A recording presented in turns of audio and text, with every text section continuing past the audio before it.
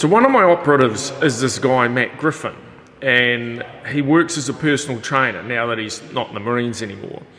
And this is his gym, or his boss's gym.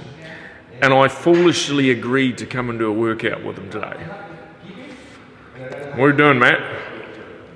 I'm gonna pick up Atlas stones today. Atlas stones. It sounds so exciting. Big concrete balls. so today's workout here at CrossFit DTR in Gaithersburg, Maryland is going to be a strongman workout. I think I'm the wrong person to be doing a strongman gig. I'm not doing the workout today because not dressed for it. Good call.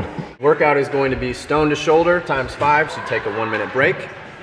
After that, you will move to the fat bar, where you will perform 10 deadlifts at 225 pounds, and then you take another one minute break. And it's going to be five rounds of this as fast as you can go.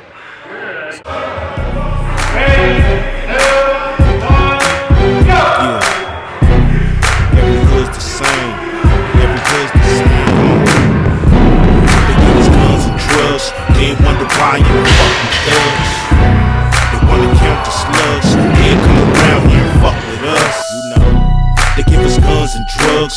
Wonder why you the fuck we thugs. They wanna count the slugs. They come around here and fuck with us. I'm from the land of the gangbang. Since I was little, ain't a goddamn thing changed.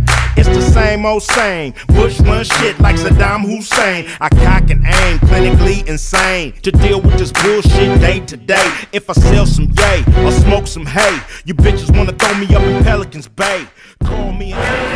Clint W, 1048, the machine. Pete Bethune, not such a machine, 12 minutes 50. and I'm naked.